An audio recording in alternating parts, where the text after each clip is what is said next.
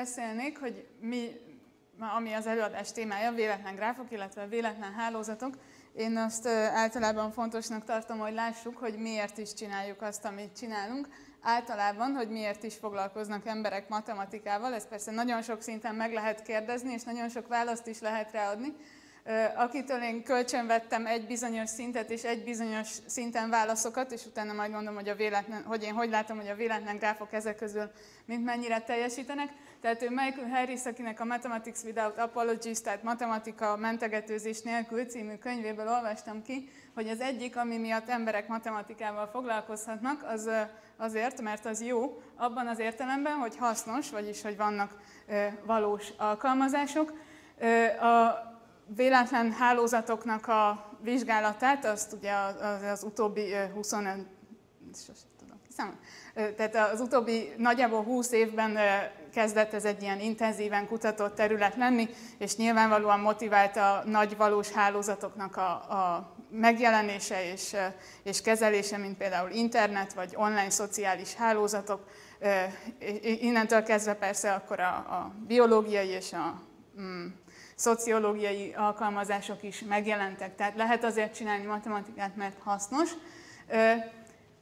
Akik matematikával foglalkoznak, sokakat motivál az, hogy igaz, vagyis van legalábbis benne egyfajta ugye, logikai tisztaságra való törekvés, az ember igyekszik precíz bizonyításokat készíteni. Mindent emberek csinálnak, tehát semmi sem tökéletes, de de ugye más tudományokhoz képest talán ez az, ami legjobban ö, megkülönbözteti, hogy itt nagyon, ö, nagyon törekszik mindenki arra, hogy, hogy precíz fogalmakkal és bizonyításokkal dolgozom. Az előadásban nem fog teljesen látszani, hogy emögött van, ö, van, ö, vannak precíz matematikai tételek, de fogom mondani, hogy hol vannak nagyon precíz matematikai tételek mögötte. Itt most a, a, próbáltam a, inkább a, a lényegre helyezni a hangsúlyt. És a harmadik pedig az, hogy szép. Persze még a matematikán belül is nagyon sok mindent lehet szépnek tekinteni. Van, aki a mély és absztrakt mm, világokat tekinti szépnek. Van, aki pont azt szereti, hogyha különböző egymástól látszólag távol álló területeket siker, sikerül összekapcsolni. Van, aki az ötletes bizonyításokat tekinti szépnek. Itt erről nem is mondanék semmit, hogy a véletlen gráfokhoz ez hogyan kapcsolódik, majd talán az előadás után sikerül eldönteni mindenkinek, hogy van-e benne valami szép. Szóval ő volt az internet, tehát mit szeretnénk, vagy hát honnan jön a, honnan jön a motiváció, ami miatt ezzel foglalkozunk. Nagyméretű valós hálózatokból, például az interneten lehetnek, ugye a pontok lehetnek számítógépek, és összekötjük azokat a pontokat egymással, amik között mondjuk a valóságban is számítógép kábelek futnak, és amit láthatunk, az ö, lehet ö, például valami ilyesmi.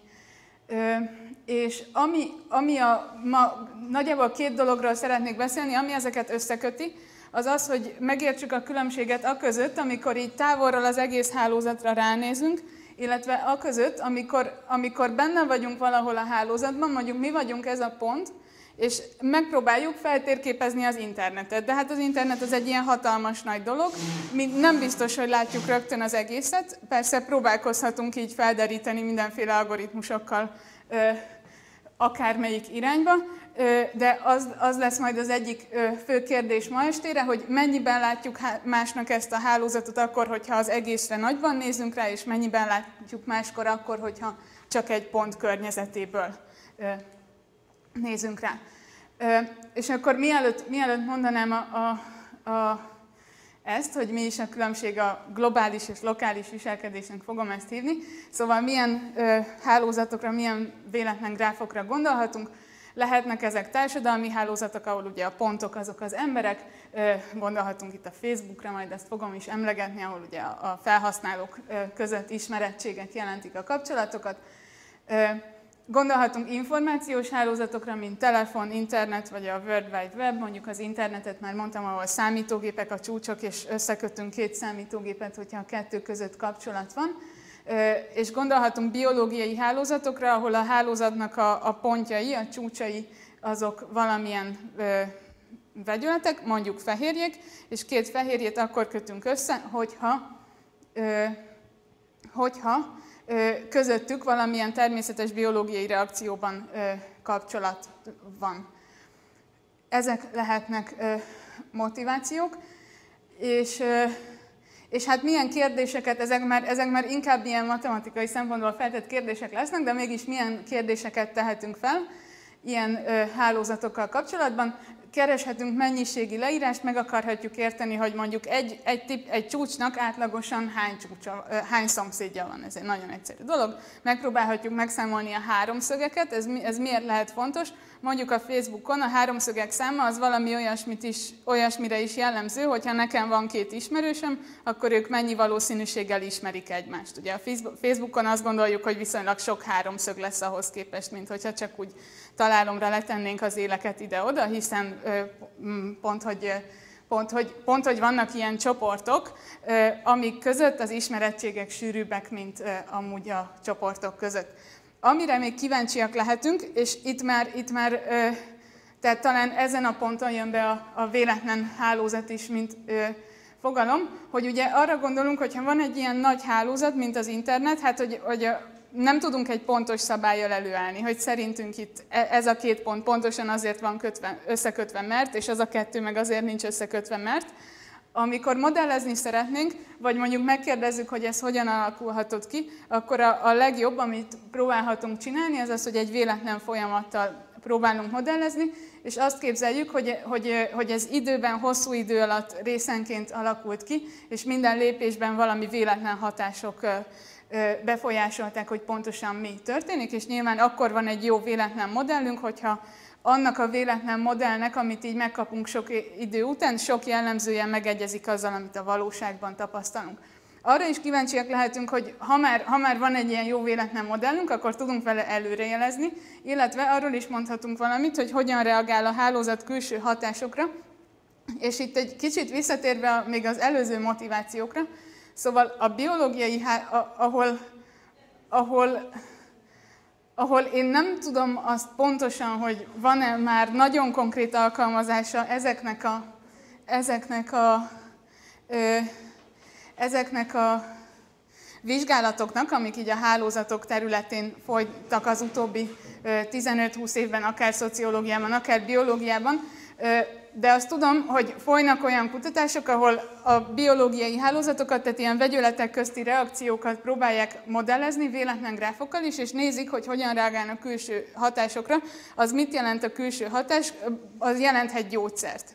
Tehát az van, hogy lehet nézni, hogyha van egy hálózat, mert tudjuk, hogy ki kivel hogyan reagál, akkor megpróbálhatjuk a véletlen modellünkön szimulálni, hogyha egy valamilyen újfajta vegyületet hozzáteszünk a rendszerhez, akkor azzal mi történik. És mivel, hogy ha már van mondjuk számítógépen egy modellünk, akkor sokkal egyszerűbb és olcsóbb betenni azt a plusz vegyületet ott a szimulált modellben, és megnézni, hogy ez jó lesz-e, mint a valóságban, akár nem tudom, állatokon, akár embereken tudjuk, hogy ez nagyon hosszú, hosszú folyamat. Tehát, hogy itt például, itt például nagyon konkrét alkalmazása is lehet a hálózatos kutatásoknak. Én, én úgy tudom, hogy ez, hogy ez ott tart, hogy, hogy hogy vannak már ilyen modellek, és folynak ilyen vizsgálatok, de ilyen vegyület, hogy szerintünk ez erre a betegségre jó lesz, én azt hiszem, hogy ez itt még, ez itt még nincs, de hát ha ö, majd ez is lesz. Ö, amit még lehet kérdezni, hogy ugye a, a, a hálózatoknak, akármelyik hálózatra gondolunk, ezek közül sokan, sok hálózat valahogy el van helyezve a térben. Tehát, hogy nem csak úgy vannak a, nem csak úgy vannak leszorva mondjuk a számítógépek a világon, mintha így semmi plusz struktúra nem lenne, hanem valahogy a Földön el vannak helyezve. És ezért, hogyha az ember épít egy véletlen modellt, akkor is akarhat építeni egy olyan véletlen modellt, ami már ezt is figyelembe veszi, hogy, hogy hát nem valószínű, hogy mondjuk Ausztrália és Párizs között úgy egy közvetlen internetkábel fog menni. Ezekről nem fogok részletesen beszélni, ezekről a fajta véletlen gráf modellekről, de de vannak olyan véletlengráf modellek is, vizsgálnak olyanokat is, amik egyszerűen valahogy úgy mennek, hogy, hogy leszórnak a síkra véletlenszerűen pontokat, és két pontot, hogy összekötnek-e, az véletlenszerűen dől el, és az összekötés valószínűsége annál nagyobb, minél közelebb van egymáshoz a két pont. És akkor ez például megpróbálja megfogni már a, a hálózatnak a térbeli szerkezetét. És, és akkor persze lehet mondani, hogy a távolságnak milyen függvénye legyen az összekötés valószínűsége, és lehet e, ilyen, mondjuk ilyen mennyiségi leírást adni. Ezekről most nem lesz szó, de említésképpen érdekes. E, és, e, és amit még szoktak kérdések, kérdésként feltenni, az mondjuk információterjedés, vagy akár járványterjedés. Ugye itt, aki esetleg hallott az előadás, előző előadást, ö, ö, ott is volt szó ilyen, ö, nem egészen járványok, de, ö, de, ö, de hogy ö, bizonyos, ö, mondjuk bizonyos típusú egyedek számának a, a növekedéséről. Hát a, hogyha pont a, mondjuk egy betegségre gondolunk, az ugye pont egy ilyen hálózaton kapcsolat alapján, kapcsolatok mentén tud terjedni, akár számítógép között, között a vírusok, akár, akár emberek között bármilyen betegségek, ugye minél erősebb kapcsolat van két ember között, annál, annál valószínűbb lehet a járványterjedés. És akkor amiről, amiről ma szeretnék főleg beszélni, az, azok a szerkezettel kapcsolatos kérdések, tehát lokális és globális tulajdonságok. És mit értek azon, hogy lokális és globális tulajdonsága egy gráfnak? Hogyha, hogyha a Facebookra gondolunk, a Facebooknak ugye rengeteg felhasználója van, és, és hogyha, hogyha mondjuk én kíváncsi vagyok arra, hogy a szomszédok száma a Facebookon úgy mennyi szokott lenni, és én nekem hozzáférésem van az teljes Facebook gráfhoz, akkor ezt úgy meg tudom számolni. Tehát meg tudom számolni, hogy hány olyan ember van, akinek nem tudom, 100 ismerőse van, hány olyan ember van, akinek 110 és 120 között, és így tovább. De van olyan, hogy valamilyen korlát miatt az ember nem fér hozzá a teljes hálózathoz, amit vizsgálni akar. Mondjuk egy egyszerű példa, csak hogy képzeljünk valamit, hogy, hogyha mondjuk én nekem az alapján kéne a Facebookról valamit állítanom, hogy látom a Facebookon a barátaimat, meg a barátaim barátait. És így, és így ennyi. És azt látom, hogy, a, látom, hogy a, mondjuk a barátaim közül kik ismerik egymást, meg még azt is látom, hogy a barátaim barátai közül kik ismerik egymást, meg mondjuk azt is látom még, hogy, mert persze kell valami külső információ, azt is tudom, hogy a barátaimnak összesen hány ismerőse van, és azt is tudom, hogy a barátaim barátainak összesen hány ismerőse van a teljes hálózatban. Tehát nem csak az én barátaim közül, hanem a teljes hálózatban hány ismerősük van, de tovább valamiért nem tudok menni. Tehát, hogy, hogy így korlátozva van az információ, lehet ilyen, és mégis szeretnénk valamit állítani a hálózatnak a teljes egészéről. Úgyhogy, ja, igen, és, és ami itt a, a tehát, igen, mindjárt, mindjárt mondom. Szóval egyrészt mire, mire, mire gondolok, amikor gráfra gondolok? Vannak pontok, amiket csúcsoknak hívunk, és a pontok össze lehetnek kötve egymással, ezeket éleknek hívjuk. Most mindig csak véges sok csúcs lesz, és véges sok élel vannak egymással összekötve, és mondjuk a lokális környezet alatt mit értek? Itt van ő a piros csúcs, mondjuk ez vagyok én, és a fekete csúcsok, ők az én barátaim, mondjuk, hogyha ez a Facebook, gráfiának egy része lenne, akkor ők a barátaim, őket, őket hívhatom az én lokális környezetemnek. És amit, amit az előbb mondtam, az, az mondjuk az lenne, hogy én, hogy én látom ezeket az éleket, és ezen kívül látom, hogy mondjuk ennek a csúcsnak van összesen öt szomszédja, tehát azt is tudom, hogy neki összesen öt van, azt is tudom, hogy neki is összesen öt van, de azt már például nem látom, hogy ezeknek a szomszédjuk ugyanaz. Az, hogy itt hány csúcs van, azt se feltétlenül látom, csak ez a részleges információ van, és mégis megpróbálok az egészről valamilyen következtetést levonni. És amit, amit, amit szeretnék ezzel kapcsolatban mutatni, két példán keresztül, az egyik az az, hogyha az, az hogyha az ember nagyon direkt módon próbál a lokális információból a globális ö, teljes ö, hálózatra következtetést levonni, akkor ott valami torzítás lesz. Viszont bizonyos esetekben, bizonyos véletlen gráf modellekben meg tudjuk mondani, hogy mi az a torzítás, és ezért, hogyha mi lokálisan megvizsgáljuk a gráfot, akkor mégiscsak tudunk következtetést levonni. Csak nem, nem az lesz, hogy kiszámoltuk valamire, hogy egy kettet, és akkor az egész gráfban is egy kettet, hanem módosítani kell.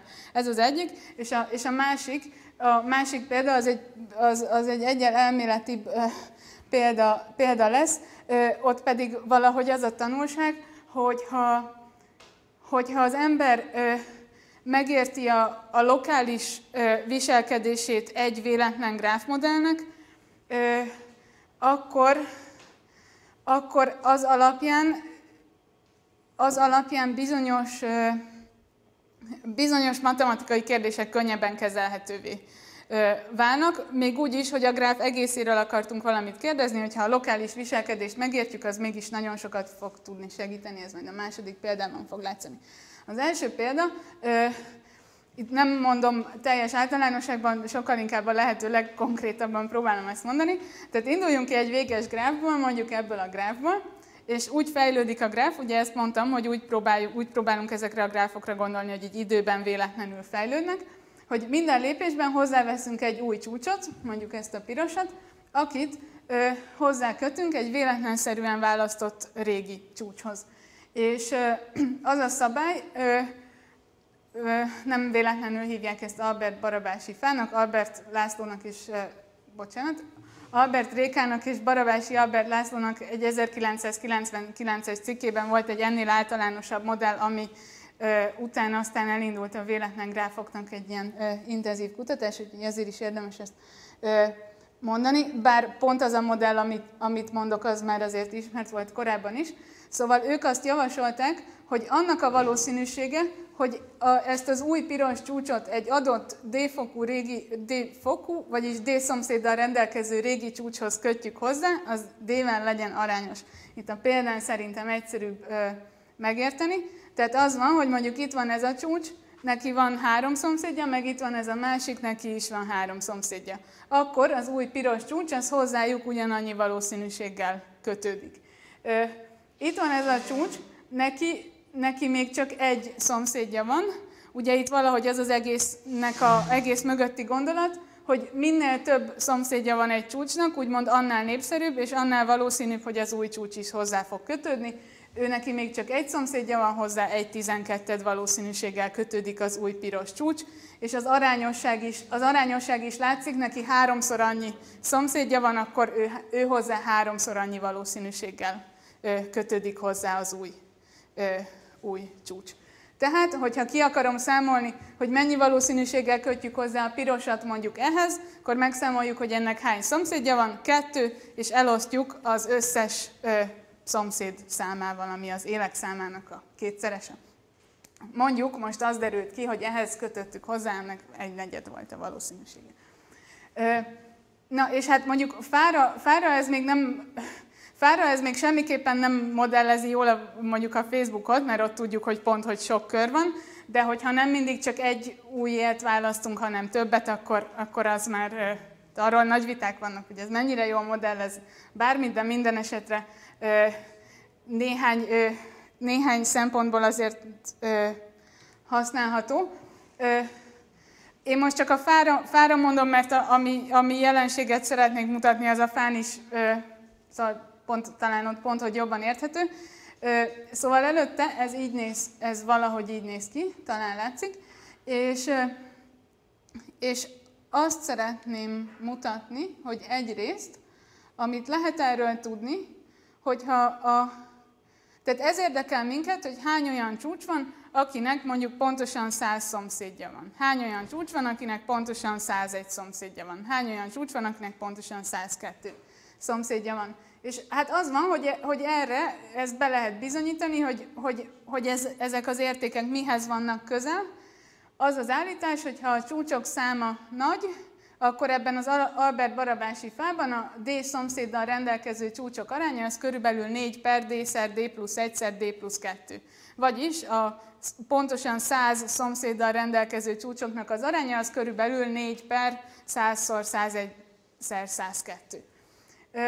Jó, hát ez igaz a hálózat teljes egészére, és akkor most, most jön az a kérdés, amit mondtam, hogy minket mondjuk érdekelhet az, hogy mi van, hogyha mondjuk én csak a, csak a, csak a barátaimat ö, tudom megkérdezni, hogy nekik hány szomszédjuk van. Az els, leg, leges-legelső kérdés, hogy hány barátom is van tulajdonképpen egy ilyen Albert Barabási fában, és erre az a válasz, hogy, hogy nagyjából gyök n. Tehát, hogyha épp n csúcs van a gráfban, akkor egy rögzített, mert itt jóval még ö, konstans ö, szorzókit ö, nem biztos, nem biztos, hogy ez teljesen jól sikerült eltalálni, de egy csúcsnak nagyjából gyöken ö, szomszédja van.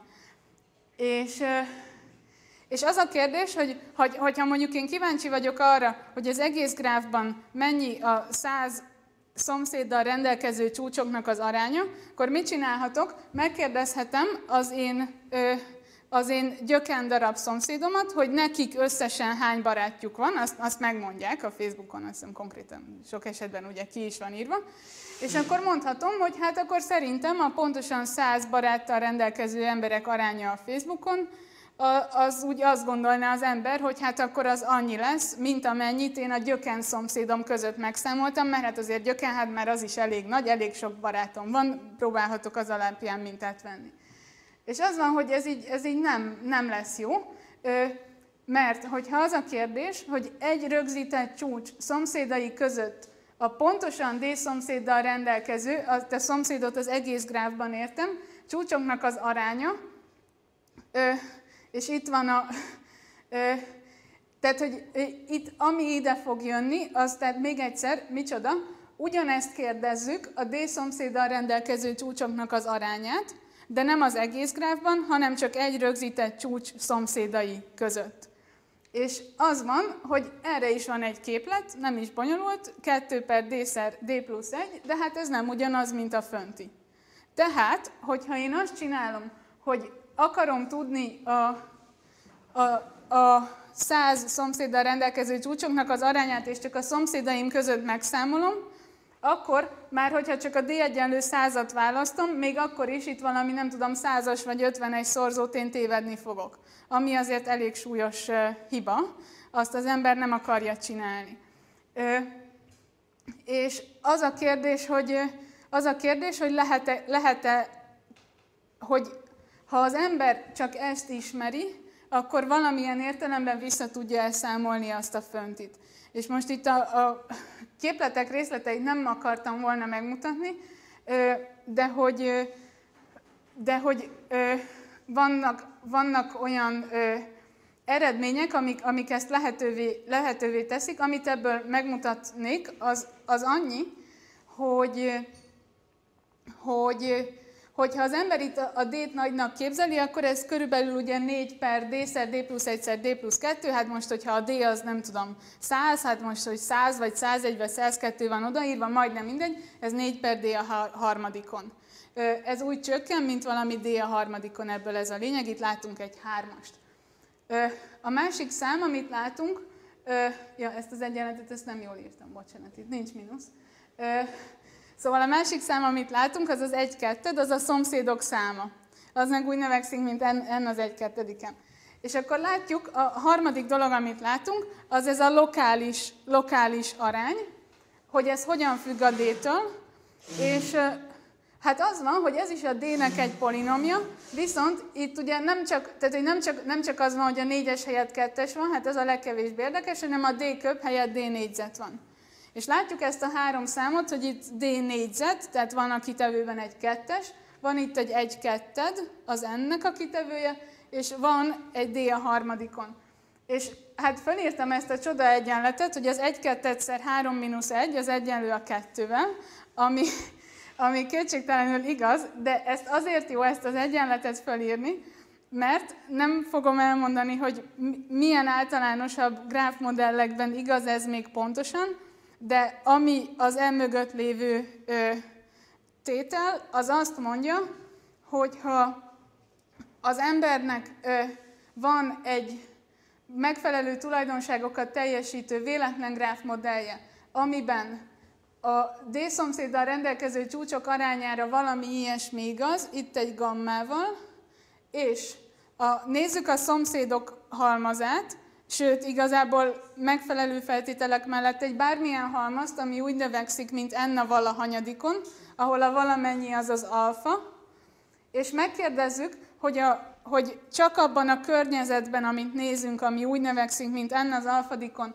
mennyi a D-szomszéddal rendelkező csúcsoknak az aránya, akkor itt fogunk látni egy másik kitevőt, és ezt a másik kitevőt, ami most éppen a kettő, ezt Bocsánat, igen, lemaradt a plusz egy. bocsánat, de igen, nem sikerült, ezt felírom rendesen.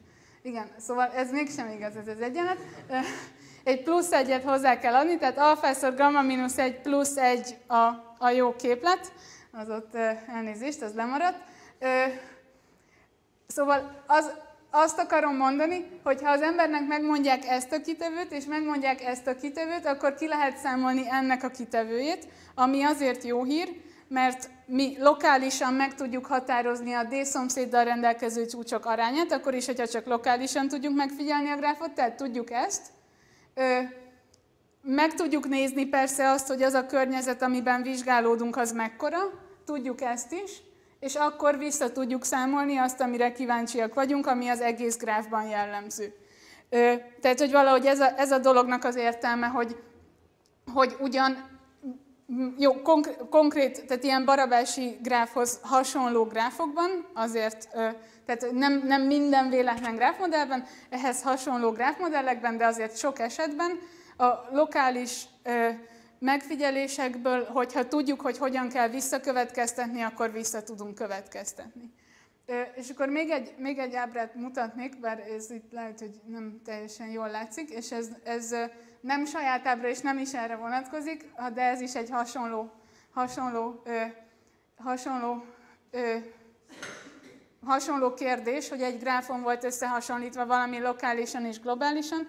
Tehát, tehát ö, ilyen arányok a logaritmikus és logaritmikus skálán voltak ábrázolva, ott ezek amíg nekem polinomok, azok a logaritmus, logaritmus skálán azok egyenesek, és azt látjuk itt a piros görbe, az megy így, az az, az amit lokálisan megfigyelünk, mondjuk annak, hogy a, hogy a mi van itt, mondjuk a, a 9 fokú csúcsoknak az aránya mennyi egy gráfban, és az igazság az pedig ennek akár így a, a jó, lo, még logaritmusban is a, nem duplája, de mondjuk ez kettővel több, azért az valami, nem tudom, négyes szorzó, vagy ötös szorzó, vagy valami ilyesmi.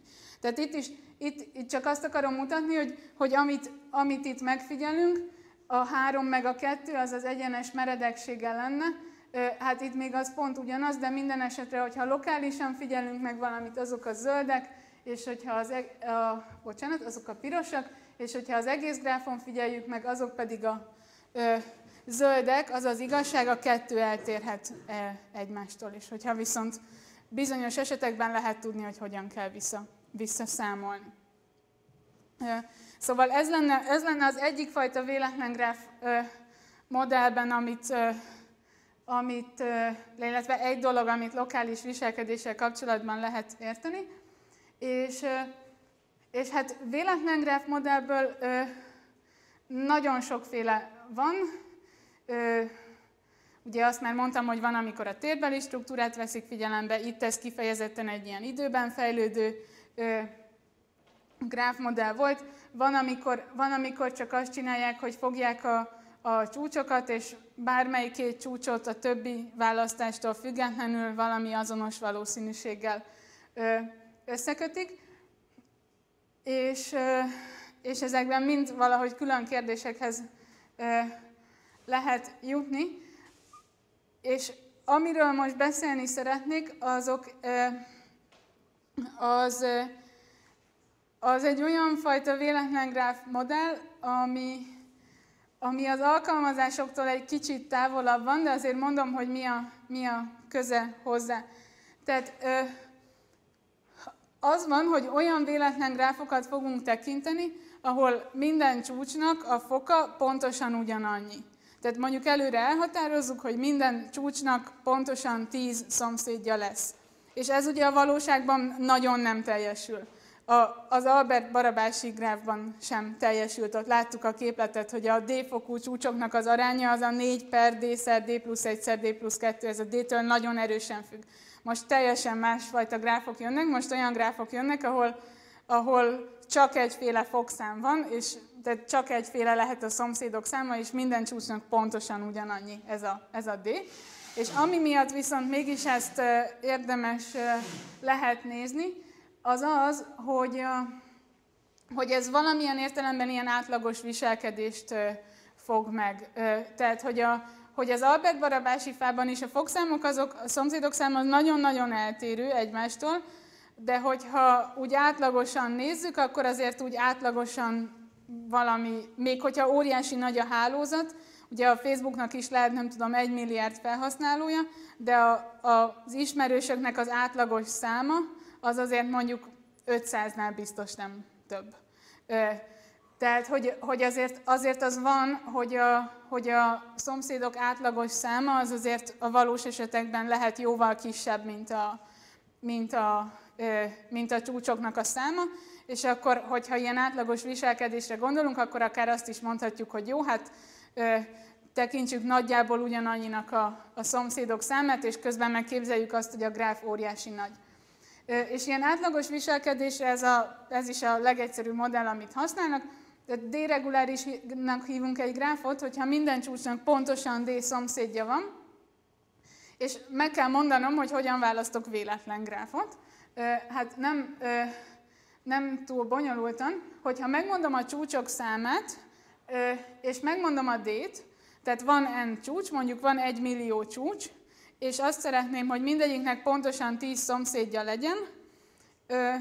Nem szabad, egy csúcs sose kötődhet hozzá magához, és nem engedünk meg párhuzamos éleket sem. Tehát olyan nincs most, hogy, hogy, hogy nem tudom, Gábor és Péter kétszeresen is barátok, mindenki csak egyszeresen barát, de még így is, hogyha megmondtuk a csúcsok számát, meg megmondtuk, hogy mindenkinek pontosan hány szomszédja kell, hogy legyen, akkor összesen véges sok ilyen gráfot el tudunk, tudunk elképzelni. Ez véges sok lehetőség. Nagyon nagy szám ez, de mégis véges, úgyhogy mondhatjuk, hogy e közül a véges sok közül választunk egyet véletlenszerűen úgy, hogy minden lehetőséget azonos valószínűséggel választunk. Úgyhogy ez, ez a véletlen gráf, és ami a, ami a, ami a, a lokális ö, viselkedésre ö, jellemző, az az, hogy, hogyha, ö, hogyha mondjuk, ezt képzel, mondjuk azt képzeljük, hogy, hogy egy millió csúcs van, az elég sok, és mindenkinek van mondjuk tíz, tíz ismerőse. Akkor jó, hát jó, nekem van tíz ismerősöm, az tíz ember, akik között ö, nem, párhuzamos élek még nincsenek. Jó, az, van tíz ismerősöm, ö, a tíz ismerősömnek van további, rajtam kívül még kilenc ismerőse, az mondjuk további 90 ember. És a között a 90 ember között már lehetnek, akik ugyanazok. És akkor lesz ilyen kör a gráfban, hogy én ismerem a Gábort, aki ismeri a Julit, aki ismeri a Balást, aki ismer engem, és én ugyan nem ismerem Julit, de mentünk egy ilyen kört. És viszont hogyha nekem még a barátaim barátai is csak összesen mondjuk 90-en vannak, és az egész gráfban viszont van egy millió csúcs, akkor annak a valószínűsége, hogy az én barátaim barátai között legyen ilyen egyezés, hogy kialakuljon ilyen kör, hogy azt gondolja az ember, hogy, hogy az úgy pici. Ö, mert hogy hát ez csak 90 ember az összes egymillióból, és ugye nem volt se, tehát most nem volt semmi ilyen, hogy, hogy akik ismerik egymást, azoknak a barátai is nagyobb valószínűséggel ismerik egymást. Ha az egész gráfot nézzük, amit az előbb mondtam, az egy konkrét csúcsra vonatkozik, ha az egész gráfot nézzük, akkor, akkor ez, ennek valami olyasmi felel meg, hogyha rögzítünk egy R-et, és az N az nagy, akkor az R élből álló körök, vagyis hát ilyen R él egymás után, ami így körbeér, az ilyeneknek a várható száma az n-hez képest pici. Ami azt jelenti, hogy a véletlen gráfunk az lokálisan egy olyan gráfhoz hasonlít, amiben nincsenek körök. Hogyha egy gráfban nincsenek körök, és minden csúcsnak 10 szomszédja van, hát az, az mit jelent? Az pontosan azt jelenti, amit az ember gondol, hogy van egy csúcs, aminek van 10 szomszédja, és neki is van mindegyiknek még további 9, és így tovább. Ez így, mint egy ilyen végtelen fa, növekszik, sehol nem megyünk körbe. És, és az van, hogy jó, hát ez lenne a végtelen fa, ezt el tudjuk képzelni, és amit az előbb mondtam, az pedig az lenne, hogyha nekünk egy nagy reguláris gráfunk van, amit véletlenszerűen választunk, akkor persze abban már vannak körök, a nagy gráfban már vannak körök, de amíg csak a barátaimat, meg a barátaim barátait nézem, addig úgy fogom látni, hogy nincsen kör, addig ez egy fához hasonló alakzat. Tehát, hogy így a barátaim barátaira olyan ez, mint egy fa, az egész gráfban persze ott, persze ott vannak ilyen körbemenések, miért is ne lennének. És viszont, ami, amin mi dolgoztunk, abban a kutatócsoportban, ahol, ahol dolgozom, ott, ott valamit be akartunk bizonyítani, mindjárt meg, még röviden megpróbálom elmondani, hogy, hogy nagyjából mi is volt az, de, de ami miatt ez ide kapcsolódik, az az, hogy, hogy, hogy, hogy, hogy ezt lehetett tudni, hogy a véletlen dereguláris gráfok azok lokálisan ilyen fához hasonlítanak. Nekünk volt egy kérdésünk a véletlen dereguláris gráfokról, és mi átfogalmaztuk azt a kérdést ilyen fára, ilyen végtelen nagy fára, amit így el tudunk képzelni, hogy ez így megy a végtelenségig. És a fa az egy ilyen sokkal, sokkal szebb, az egy ilyen szimmetrikus, szimmetrikus alakzat, ott egy kicsit könnyebbé vált a kérdés. Nem lett sokkal könnyebb, de könnyebbé vált annyival, hogy ott már meg tudtuk oldani, és amit kaptunk, abból vissza tudtunk következtetni a véges esetre. Tehát itt, itt erre, gondoltam, amikor azt mondtam, hogy ha az ember megérti, hogy egy véletlen lokálisan hogyan viselkedik, az mégis segíthet a globális tulajdonságok megértésében, még akkor is, hogyha nem közvetlenül. És azért valamit próbálnék arról mondani, hogy mi is volt az, amit, amit, amit mi be akartunk látni. Bocs, igen, jó. Szóval, csak azt, hogy mivel kapcsolatos, és utána mutatok néhány ábrát. Szóval, amit látunk, az egy három reguláris gráf, minden csúcsnak három szomszédja van. A csúcsokon számok vannak írva, és ezek a számok, ezek nem akárhogy vannak írva a csúcsokra, hanem a piros csúcsra az van írva, hogy 0,24.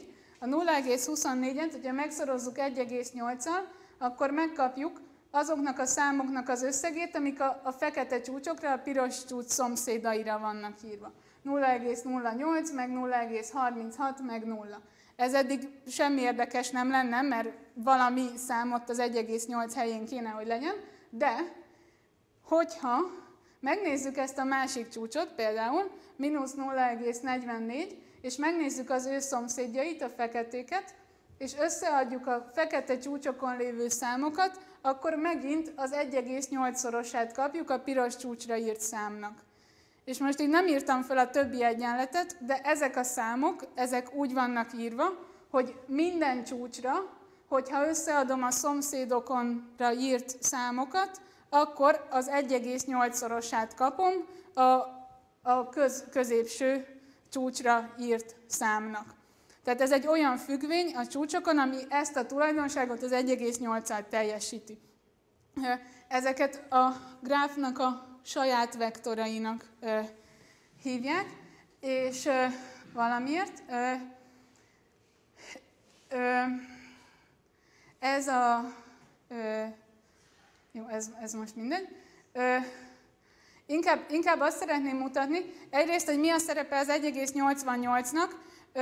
Ha, ha van egy ilyen gráfunk, akkor akkor nem csak az egy, egy, tehát nem minden számhoz lehet ilyen függvényt találni, az nem igaz, de egy n csúcsú gráfhoz azért úgy a legtöbb esetben szokott lenni n olyan száma, amihez találhatunk megfelelő függvényt, ezt azért mindenképpen jó látni.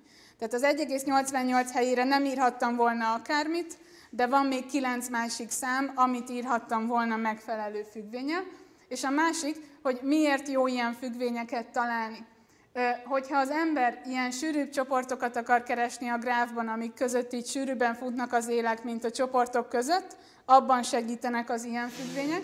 Hogyha az ember vizualizálni szeretné a gráfját, ami azt jelenti, hogy úgy lerajzolni, hogy úgy minél átláthatóbb legyen, hogy az élek között minél kevesebb pont legyen, meg hogy a, a szomszédaink azok minél közelebb legyenek hozzánk, hogy ne így messzire menjenek az ének. Ebben is segítenek az ilyen függvények, amiket saját vektoroknak hívunk.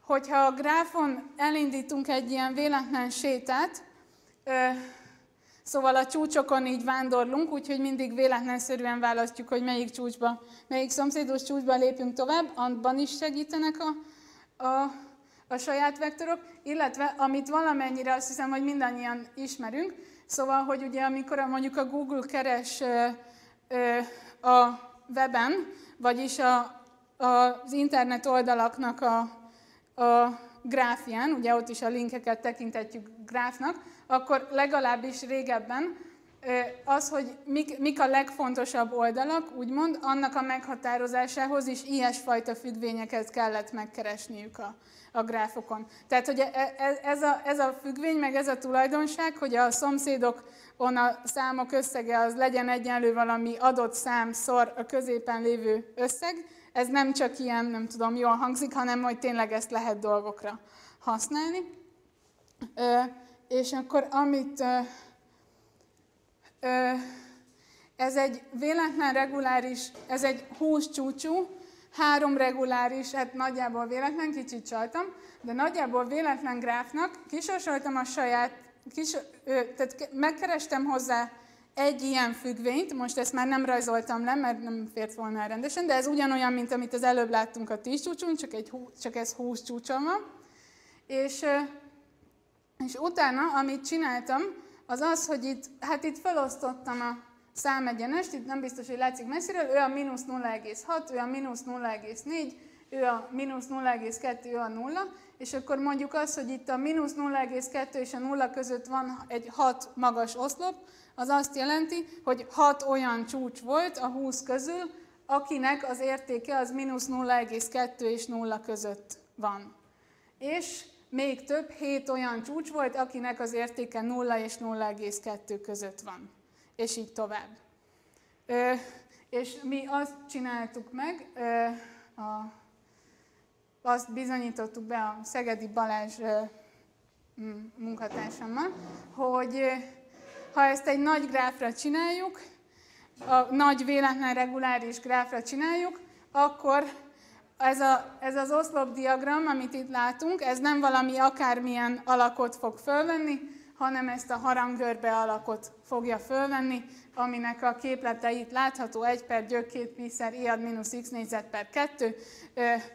A, és persze ez a, ez a harangörbe, ez a, ez a híres Gauss görbe, ami, ami akkor is előjön, hogyha, hogyha az ember véletlenszerűen véletlenszerűen, de azért úgy azonos féleképpen sorsol számokat egymástól függetlenül, és ezeket a számokat átlagolja, akkor is, akkor is ilyen, és, és mondjuk utána csinálnánk ezt, hogy így felosztjuk a számegyenest, és ábrázoljuk, hogy mi hányszor volt, akkor is egy ilyen harangörbét látnánk, és a, a, a, a mi eredményünk az tehát valami olyasmi, hogyha, hogyha mi hogyha nem függetlenül veszük ezeket a számokat, ezek a számok legkevésbé sem függetlenek, ilyen szigorú egyenleteket kell teljesíteni, de véletlenül vesszük a gráfot, és utána megnézzük, hogy ezek a számok közül hány lesz kicsi, meg hány lesz nagyon kicsi, meg hány lesz ilyen közepes, és így tovább, akkor mégis ez valahogy ugyanúgy fog viselkedni, mint hogyha ilyen véletlen dolgoknak az átlagát számolnánk. És akkor még egyszer ennek a, tehát hogy hogy ezek a, ezek a ö, tehát, hogy itt magából az állításból nem látszik, hogy a, hogy a gráf lokális szerkezetét használtuk, de a bizonyítás az, az úgy ment, hogy, a, hogy, hogy igazából ilyen fára oldottuk meg a, oldottunk meg egy megfelelő feladatot, úgyhogy akkor ez egy példa arra, amikor az ember ki tudja használni azt, hogy a lokális tulajdonság megértése az, az egy ilyen szebb struktúrához vezet, és ezért így könnyebb lesz a feladat. A másik példa meg ugye arra vonatkozott, hogy a lokális megfigyelés az lehet, lehet torz, de hogyha tudjuk, hogy hogy kell a torzítást kijavítani, akkor az is lehet nagyon fontos. Jó. Köszönöm szépen a, a figyelmet, amit szerettem.